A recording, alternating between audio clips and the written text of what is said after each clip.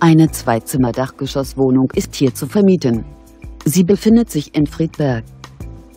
Die Immobilie wurde 1993 erbaut und wird über eine Gaszentralheizung beheizt. Das Objekt verfügt über einen Balkon, ein Schlafzimmer, ein Badezimmer, eine Einbauküche und einen Parkplatz. Bei einer Wohnfläche von ca. 55 Quadratmetern beläuft sich die Gesamtmiete dieser Dachgeschosswohnung auf 660 Euro.